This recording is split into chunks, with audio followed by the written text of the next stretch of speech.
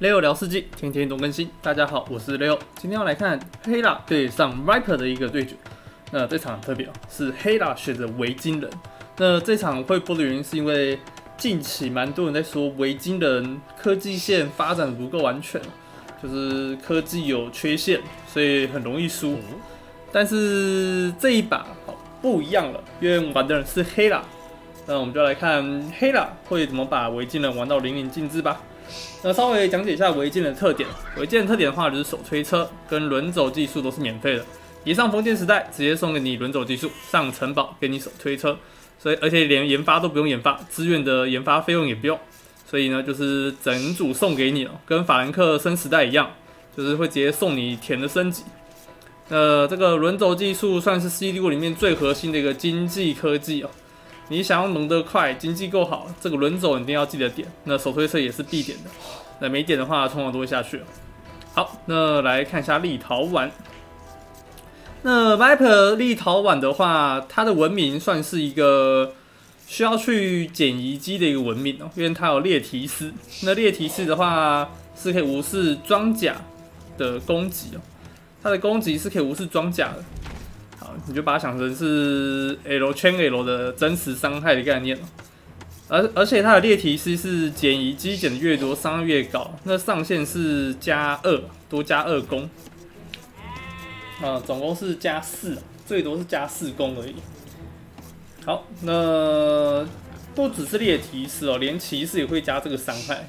所以立陶宛的一个核心的玩法就是上城堡抢遗机的一个重点。呃，能不能抢到遗迹也是蛮看玩家的造化的。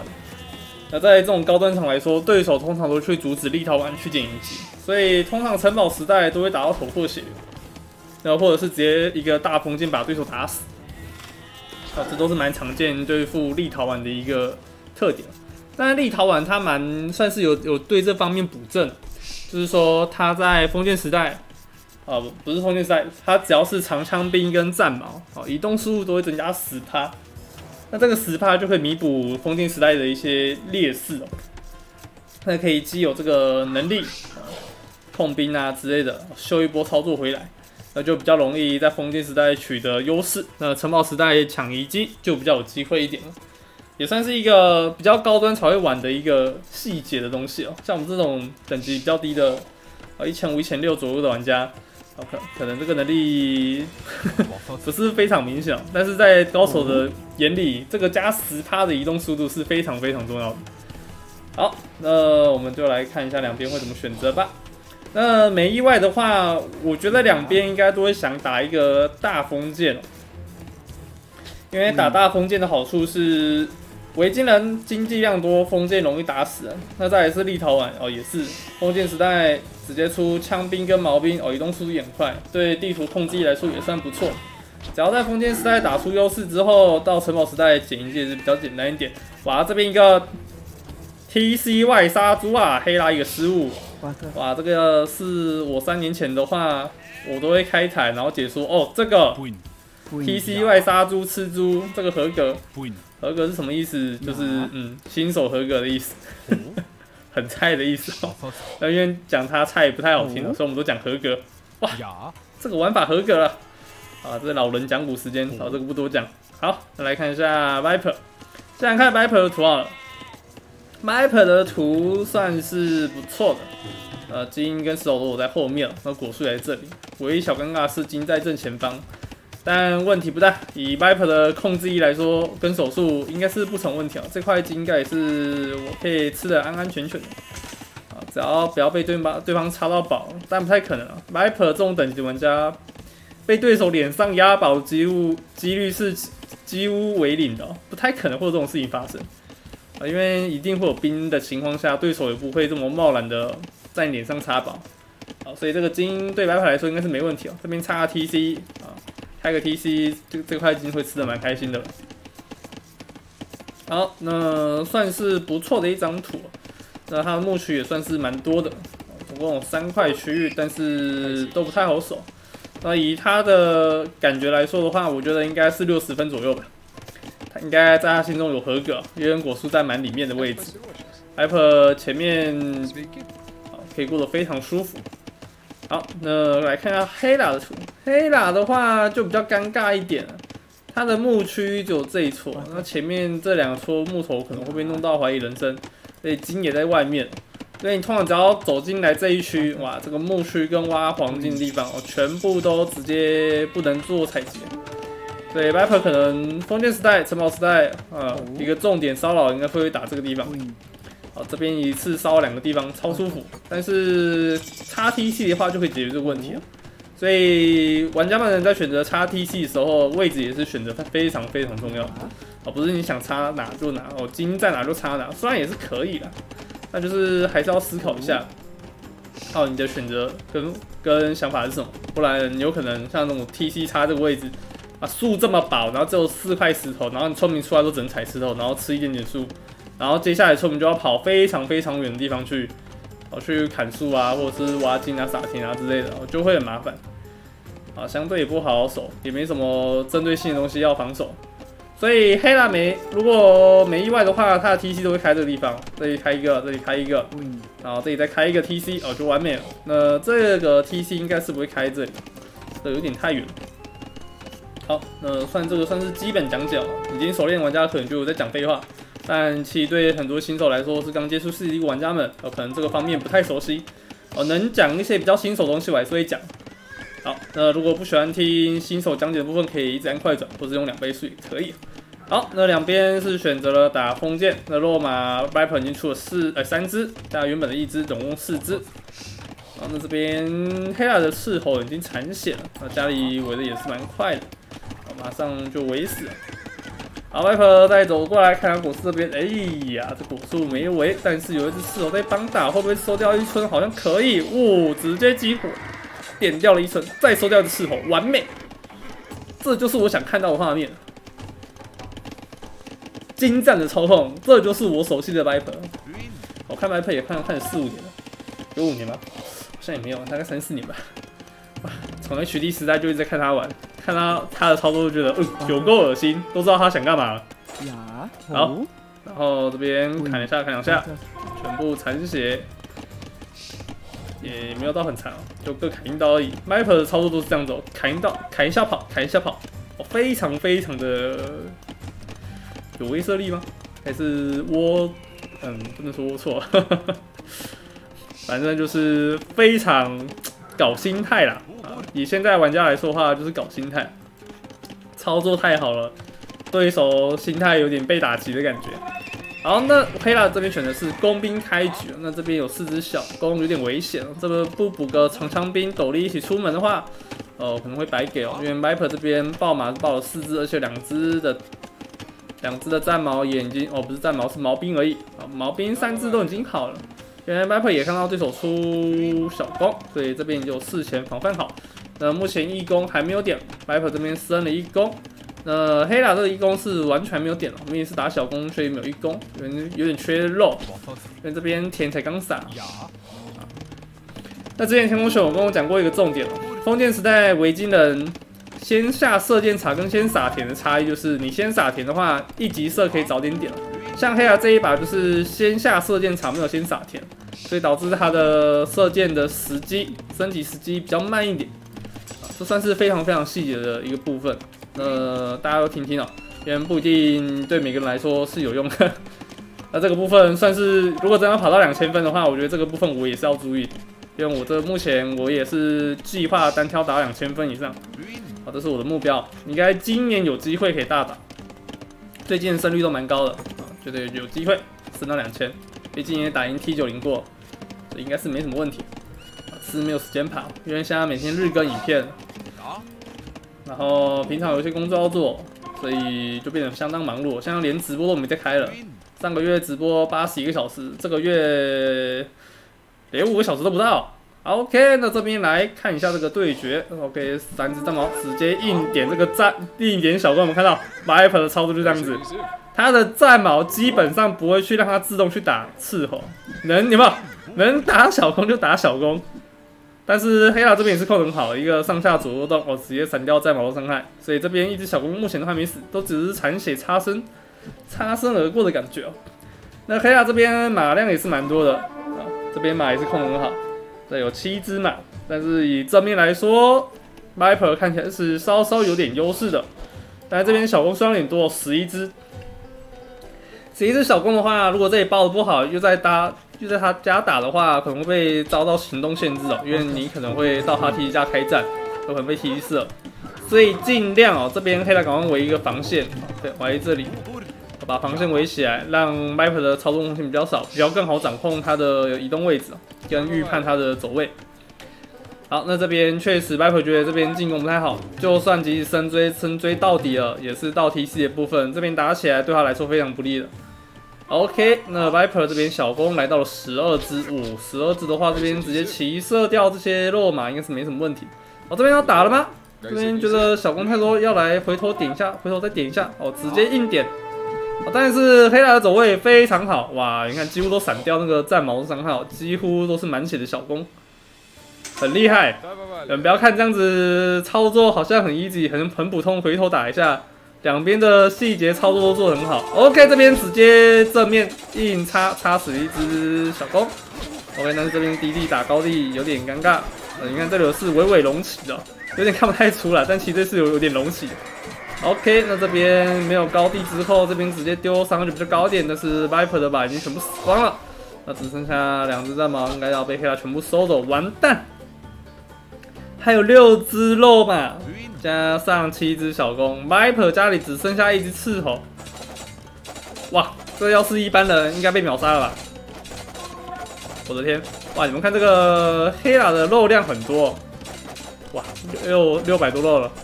虽然这个六百多肉是因为他没出战矛关系啊，Viper 是有出战矛关系，但轮轴方面也是有帮助到黑老这边经济非常好。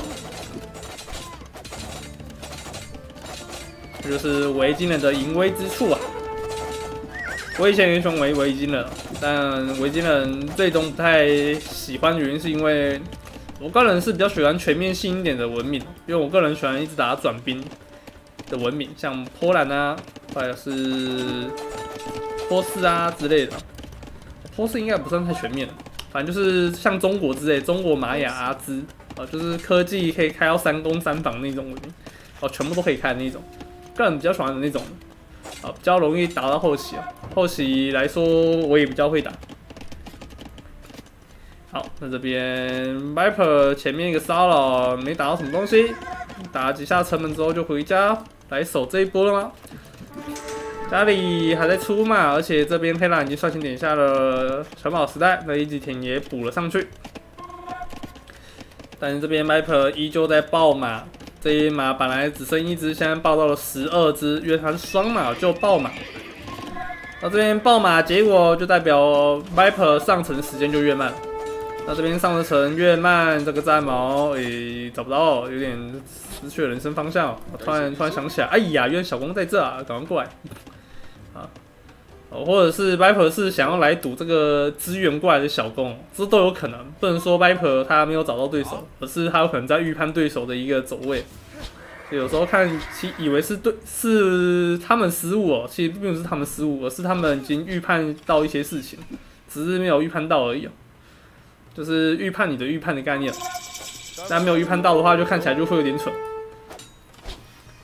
在这边看起来，哦哟，这个落马直接上去硬敲，完美！战矛平地开叉，而且距离够近，每一发伤都扎扎实的投到这个工兵上。OK，你看这个工兵杀完之后马上拉开，然后让落马进去打，哇，这个就是 Viper 的微操。好，该动就动，不该动就别动。很聪明的做法，哇！Viper 这边还事先下了一个箭塔在这个主金的位置，哇！这个主金确实要下个箭塔。那 Viper 算是及时下会防守的人哦，他及时视野没有看到对手出门，但是他已经 OS 就是想说，哦，他应该出门了，已经上城堡实战一段时间了，弩兵应该要来了。好，因为这边这个距离确实弩兵可以射的蛮爽。那这边杀了箭塔的话，那弩兵就不能不能骚扰。好，那城堡时代这边也是上了，剩下三十秒，那一级挖矿也好了。好，这边一个擦身而过，不知道有没有看到这个视野，感觉是没有看到的。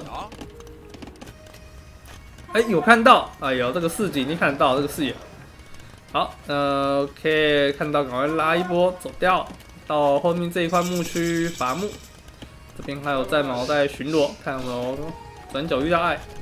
好，这边轻骑兵要直接回家，不好把三只要送掉了。哎呦，有空有空，这就是我知道的 Viper。OK，Viper 这边轻骑兵跟二级反击研发了，跑速也在升级中。那没意外的话，升级好这一波十二只肉马，应该可以轻轻松松吃掉这十只弩兵。而且有二级防的话，射起来也不会那么痛。那就要看一下这升级时间哪时候好喽。好，二级防还有十秒，但是左边黑啦这一波的工兵也跟了上来，能不能汇合呢？总共有十九只的工兵，一汇合的话，Viper 就不好打，而且还有骑士过来，怎么办？要硬打了，不行啊，这要上了，是我我也上了，OK，直接硬砍上去。好，黑拉再一个做一个操作，强到高地来打这个高打低，让自己受到伤害少一点。但是 Viper 这边也是一直贴了上去，后面还补了大量骑士过来，双马就爆骑士。要是那一题，立陶宛骑士，我这边已经是有义攻的了，而且防御是二防，完美，二防义攻的骑士。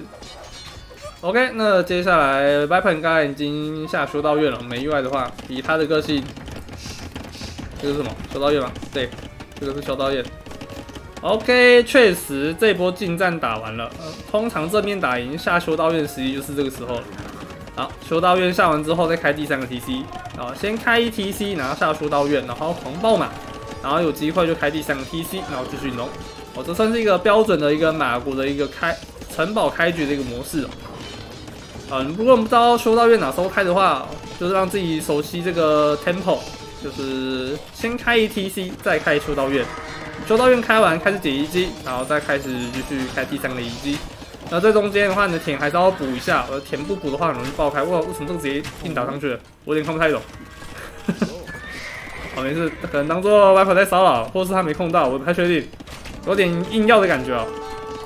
嗯，也不能说好或是坏，嗯，就就当做骚扰吧，好吧。那 Viper 确实刚刚这一波打的非常好，让白黑拉这边十九只小攻死掉。导致他城堡时代的威慑力已经没有了，现在只能全力防守。呃，Viper 最想要看到的结果就是城堡它有优势，那城堡又有优势，立陶宛这边就可以赶快疯狂捡遗迹，哦，增加攻骑士的攻击力。好，那这边捡到一个遗迹的话，攻击加一，等就看到十加二的一个攻击力了。来，好放进去了，放下去之后，这边骑士十加二完成。OK，十加二的骑士。好了，然后这边 Michael 点下了战矛兵，然后黑亚这边选择传转出了重装哦。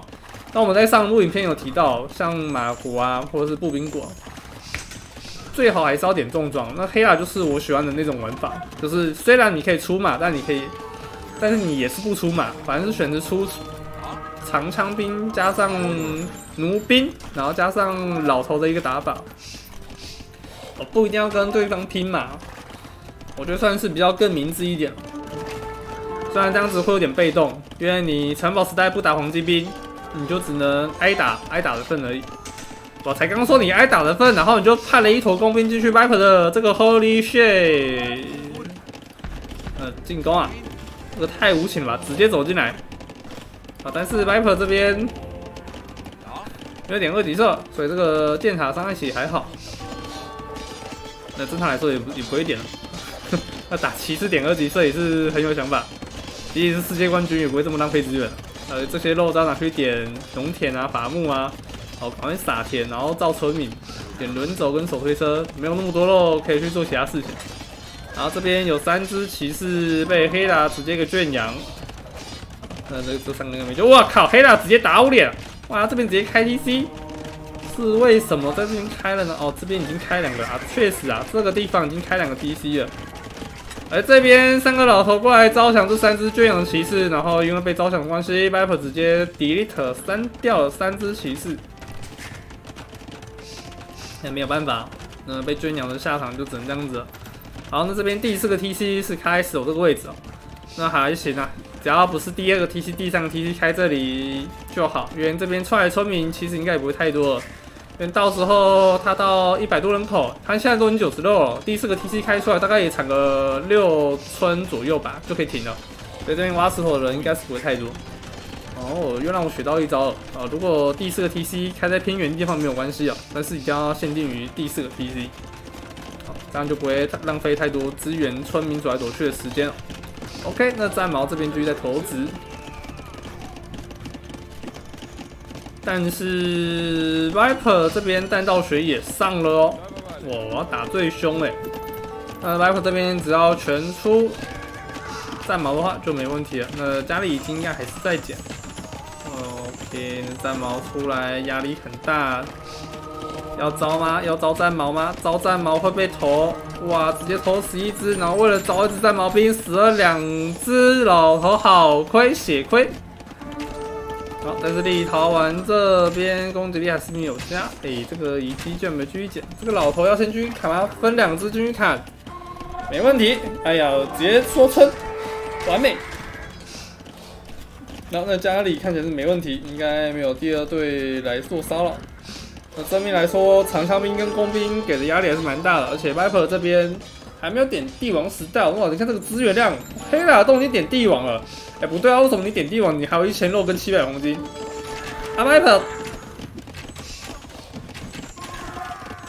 村民差二十村，差这么多吗？哎，这就是围巾之力吗？好扯，这个肉量是怎么回事？我傻眼了！哇，这个 Viper 有点尴尬哦。人家点了帝王还有一千多肉，这这是 bug 吗？这应该不可能 bug 吧？连这个 CM 波观战器都会 bug，那我还真是不用了。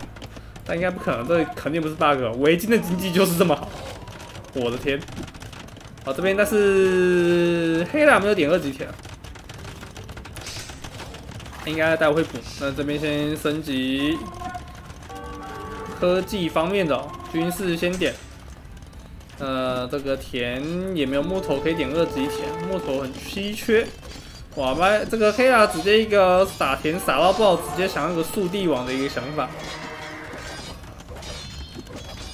那我觉得他也打的真是不错，因为你要这样想。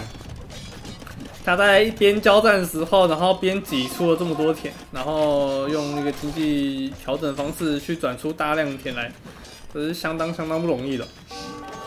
好，那 Viper 终于也要点到帝王时代了，那 Viper 应该傻眼，呃，我刚点帝王你就帝王了，哇，那这个城堡直接看起来是要白给了。好，那这边骑士直接进来硬砍这些战矛。那这个战矛，这不是不是骑士来砍战矛，是黑啦，用招强的骑士来砍这个战矛。那这边重装长兵实在是太多了，赶快跑，赶快跑！但是这边立陶宛有跑速，还行，跑很快，跑很快，哦，还可以秀一下。好，但是黑啦转出了狂战士哦，上面开打，上面骑士全死。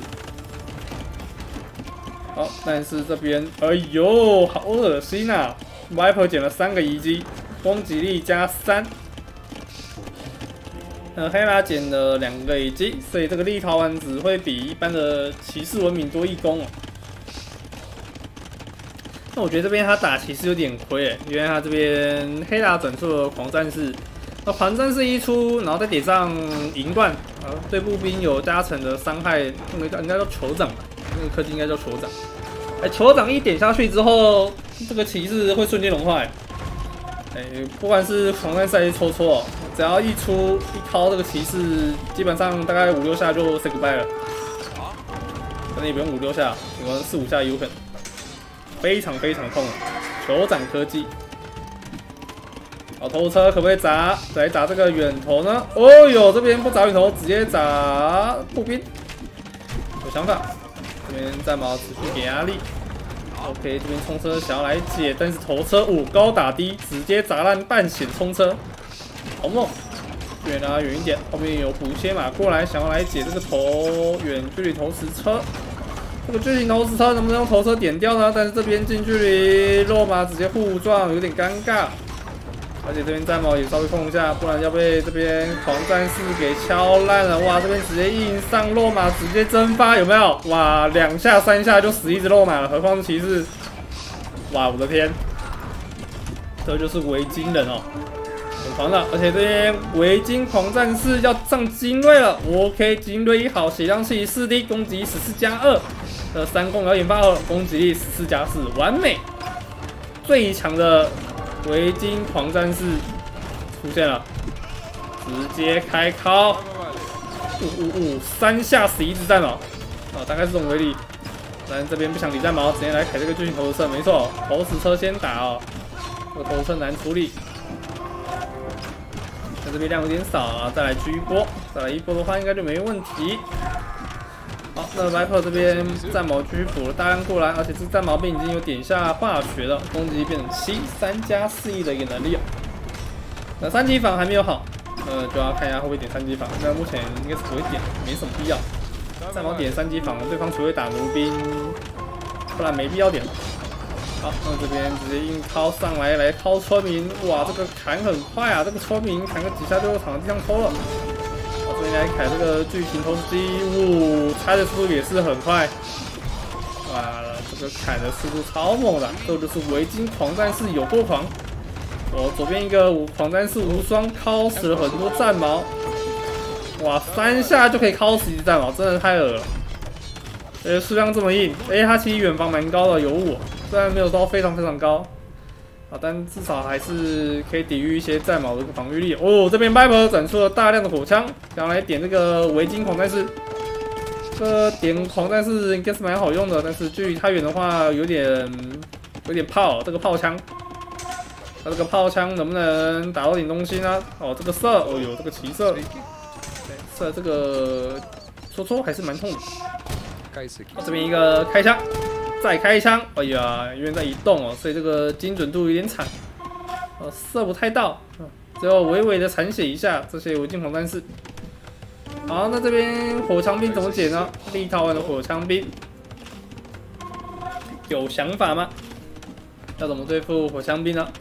继续出狂战士的话，会火枪射歪。呃，这边决定要转弩兵了吗？三级射点上去，还是要先出点战矛压机呢？那这边就来看一下黑拉这边选择，哦，选择应该是战矛，我们开始产战矛兵了。那战矛兵打火枪兵也是好用的，但是火枪兵打战矛也是很痛的，两边都打对方都很痛的。但是火枪兵是黄金兵哦，所以互打来说的话，战矛一定是亏烂。啊不不不，火枪兵已经亏烂，战矛可是爽赚的。所以黑拉这边要来省资源、省经济，哦，点下增兵技术，弹道学，然后。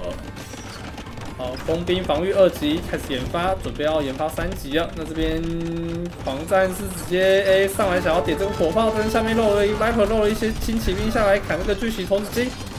哦，这边上的时机非常好，没意外的话这两台都会投掉，但是 viper 的巨型投石机也被黑拉的围巾狂战士硬贴了上来，直接把一台给拆了。拆了之后开始打这个战矛跟火枪兵，好痛！哇靠！我打火枪兵也是三下死一只，三下斧头也是死一只火枪兵。哇，好猛好猛！但火枪兵最诟病的还是他的攻击速度，攻击速度太慢，被狂战士掏也是被清的蛮快的。那就要如何甩枪就是个问题了。好，那 Viper 这边经济来说有点差啊，那资源都快要见底了。但黄金量来说应该算是不错的，因为它是三移机。好，这边火枪能不能一直出呢？还是不要出太多呢，就要变成 map 的一个问题。因为目前一定要大量火枪才可以克制住对手的围巾狂战士的一个肆虐。玩这个狂战士其实不要看他这样子不好解，出这些嘛，被敲几下就突然人间蒸发了。哇，你看这个敲一下这个血扣多少，好惨！哇，大概五下左右，五下就可以敲死一只肉嘛。好，这边战狼放了一叠火枪兵，应该没问题。火枪兵的数量应该会被大幅减少，但是火枪一个反击，直接把战矛射要剩下一两只的程度。好，那这边 Viper 终于，呃，不是 Viper，黑亚终于点下银冠。银冠现在点实际也算不错，看到 Viper 一个大马爆，这个波兰裔骑兵，哦，九加二，呃，顺带体力陶宛的减银技的效果只会加在骑士上，不能加到这个轻骑兵上。所以这种骑兵跟猎骑士会加额外的伤害，但是轻骑兵就没有了。呃，我记得以前的版本，立陶宛的攻击是可以加在轻骑兵上，非常猛。那现在会加轻骑兵攻击力的文明好像是走玛丽了吧？玛丽的金冠。好，再来看一下这边狂战士蛮大量过来，想要来靠这个火炮，火炮确实也被靠死了。那绕几只狂战士要上去做骚扰吗？好，那这边很多战矛，但是这边肉马有点多，但是肉马一多，又遇到黄围巾狂战士怎么办？这边对回击狂战士没有太好的想法。数量有点多，这边硬掏的话有点亏哦，而且火枪兵一直被限制输出，因为自己知道黑拉也在控对自己的战矛，只要一上去打的话会很劣势啊，因为这个火枪会被点光。但是这边正面的马已经全速消失了，这个银冠一好，靠这个马就头破血流了。来看一下靠这个马有多快哦。好，这边一下，哦一下大概是，哦扣十九滴哦，我的天！呃，不确定是不是第一打高，应该还有再更通一点。我印象中，嗯，靠一下十九滴也是蛮可观的伤害。啊，五下就可以烤死一只肉马。好，那这边火枪的数量有点少，我已经狂战士这边快扛不动了。这边战矛疯狂插起点这个火枪兵。OK，旗子插完，火枪兵的数量也被歼灭殆尽了。那这边 Viper 有个道德宝吗？这个宝是不是盖不起来呀？哎，盖不起来，兄弟，你这边已经没部队了。哇道德宝确定了，这个已经是道德宝。哦，右边有几个还有火爆想要来抄下面这个城堡，我还拆掉了，好鬼啊！啊，但是没办法，这些火炮应该也是没救了。狂战士直接贴了上来，哇，这狂战士真的很狂哎，很能能坦又有输出，对不对？他的战术很单纯，黑啦就是狂战士加战矛没了。好，我的战术就是这么简单明了。后面再开一个大风车，给他一个叠加步。呃，因为已经有大通车的情况下，出个叠加步真的是蛮舒服。那，左边目前看起来没什么战况。呃，家里经济来说，两边应该都算紧绷了。打开了这边人口数算少一点了，一一九。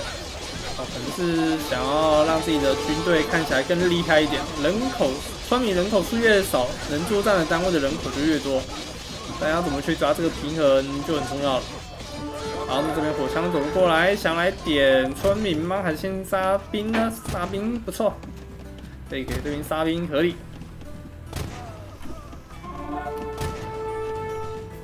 好，呃，战矛右边这一坨，我不确定的。立陶宛这边出战矛，可能是要混在火枪兵里面，然后挡点战矛伤害吧。但我觉得他不出战矛的话也是有点惨，出战矛也是很惨，不管怎么出都很惨的感觉。感觉 Viper 整个中投之类的头车或弩炮打这一坨感觉会更舒服一点，但正面还是需要有火枪兵的一个压制，不然这个狂战士只会把对手 Viper 这边的兵当塑胶。然后这边很多的战矛在投掷，火枪兵有点危险，往后拉一下。那为什么要拉呢？他以为战矛还活着吗？没有，剩下都是围巾狂战士的战矛，只剩两只。还有这边有大量的战矛来防守，而且火炮也在后面输出。我这个血量有点危险啊，几乎血量是满的。好，远投开始在拆前线的一些建筑，让白板这边爆兵会更困难一点。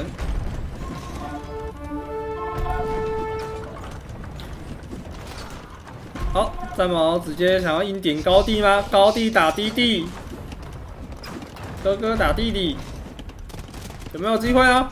火枪，哇，火枪的伤害很不够啊！Viper 的步兵血量太多了，Viper Viper 的步兵血量是加二十 percent 了。这边回击狂战士的血量真是蛮恶的，哇！你看吧，黑啦，这边又直接一个手手点上来点进火枪兵，对，这个火炮也在踢地板，但后面有太大的狂战士在追逐这个火炮，这应该是没有救。火炮威力很强，这个路上不追火炮，直接来追火枪兵也是赚啊。哇，Viper 这边正面完全打输了，部队开始被崩坏啊！要再重新再集结，再打一波超狠，再推回去了。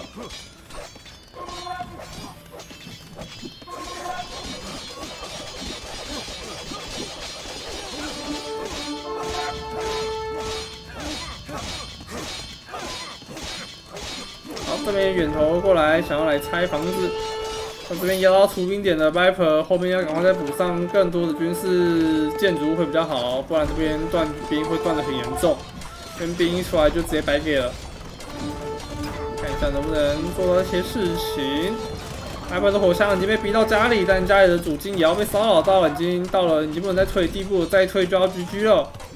Viper 还能苟吗？围巾狂战四加战矛这么能打吗？打一个马国围巾打得轻轻松松，easy easy 的。然后 Viper 这边爆了一些马来黑雅家骚扰哇，黑雅真的是每次骚扰都是一个三面进攻。但黑拉黑拉早就已经很熟悉 Viper 的一个套路了，家里到处都有长枪兵在走来走去，这都是打了很多年的好基友了。对基友打什么他都知道，摸得清清楚楚，一干二净。好铺拖泥带水，然后这边知道自己的遗迹要掉出来了，一掉出来一瞬间，老头就开始捡遗迹了。哇，Viper 这个手速真的是很快。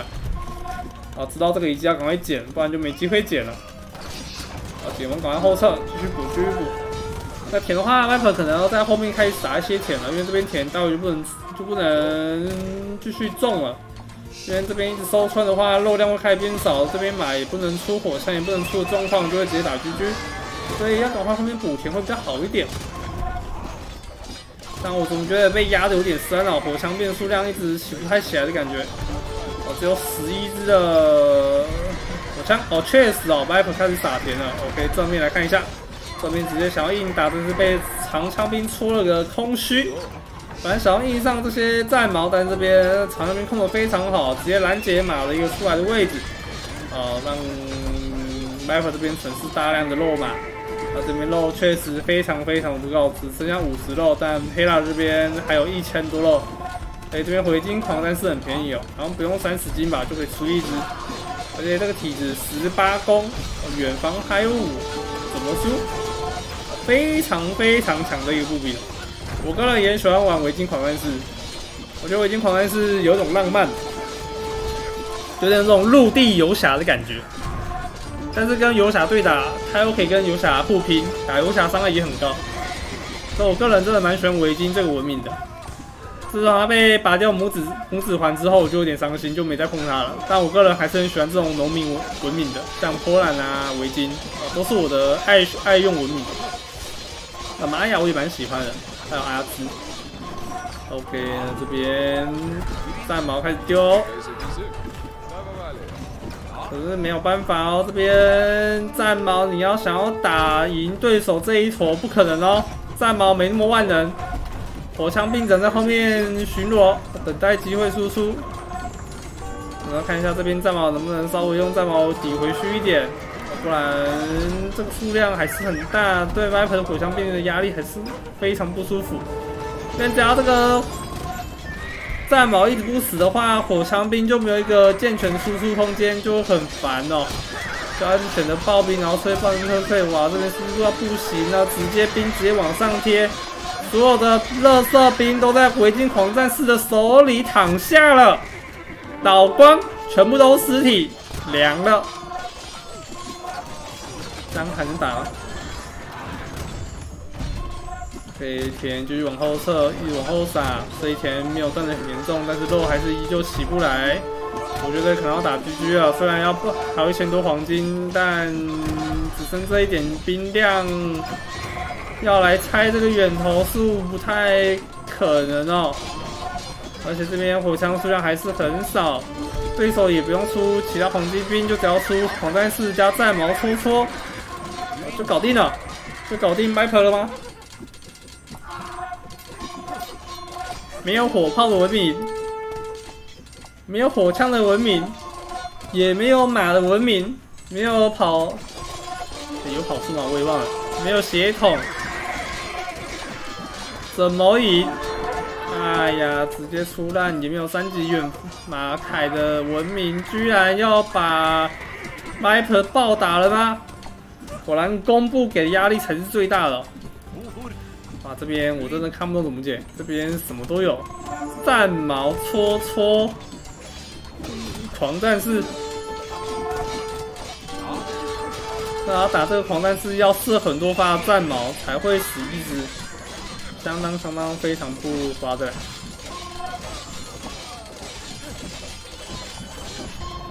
好，那这边慢慢的拆 Viper 家的建筑物，但好像发现自己好像经济也快没了。你看黑塔这边剩四百斤了，然后 Viper 这边也剩四百斤，两边的经济量都已经见底了，主金还被控，完蛋，这个金没挖完。但这边 Viper 的唯一的优势就是火炮。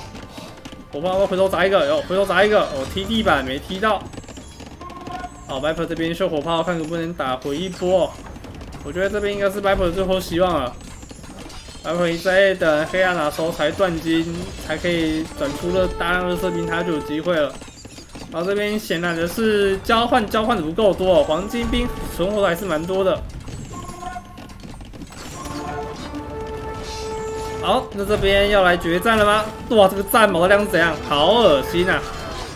好，两边的军量为下图，这边二两千二打一千五，Viper 这边据劣势。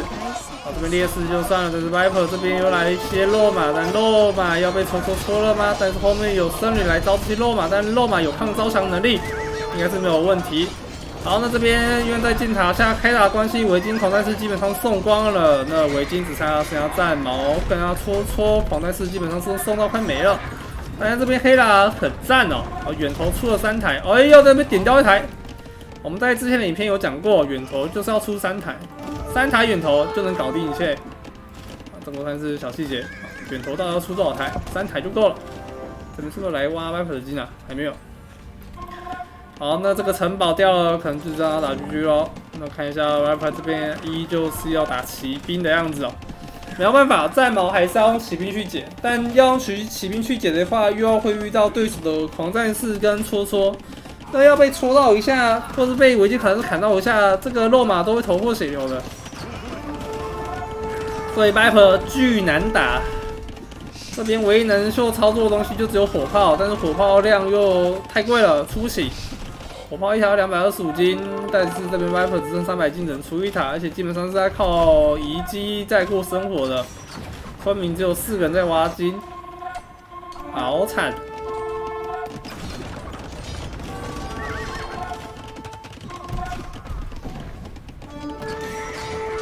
然后狂战士这边还带出十六只狂战士，加上五十八只的戳戳，五十八只，这种数字。我的天！好，这个城堡掉了，Viper 这一波再打不赢的话，真的要喊 GG 了。因为这边是 Viper 的出兵点，出兵点被压制的话，这就意味着这场比赛要没了吗？这边大量战矛被围攻，而且这边火炮一火炮也要被戳掉了。后面有了更多的狂战士跟戳戳 U A 了上来，高地战矛能不能守住二四的战矛？看是不行，Viper 打出了 GG。哇，我来看一下两边的一个经济选择。Viper 真的是文农民型玩家，他的一级舔跟一级舔跟一级木，二级舔跟二级木都是同时点。然后手推车轮轴上的时间也是蛮好的，就是差不多三十寸左右，三十二或三十五村左右可以点这个轮轴技术。那在七十寸到八十寸或九十寸的时候来点这个手推车，哦，算是非常一个正确的选择。但是由于维京人完全不需要这些点的时间，哦，不好意思，我看错了。所以这边手推车跟黑拉这边手推车跟轮走都是免费给的，所以这边不会看到它有点那个科技的一个项目在。那 Bip 这边是好像是这是多少？哎，九十七村点，然后这个是三十四村点的，哦，标准型的点手推车的一个 timing 哦。因为 Viper 这边有在暴兵的关系，所以村民数会到九十几只才点是正常。呃，封建时代也是打了一场架，所以这个轮走也是上的比较晚一点，哦，也是正常，全部都是正常。好，那 OK，看一下经济部分。五这边 Viper 木头有赢黑啊，那黑啊这边经济非常好。你要看他这边好像跟 Viper 的经济差不多，哦，七十四。他这边村民数是很少村民去采资源的，所以才会有这种近距离的差距。我来看一下 Viper 有多少村。诶，其实我不太懂这个新界面要看村民是要去哪里看？你是这个吗？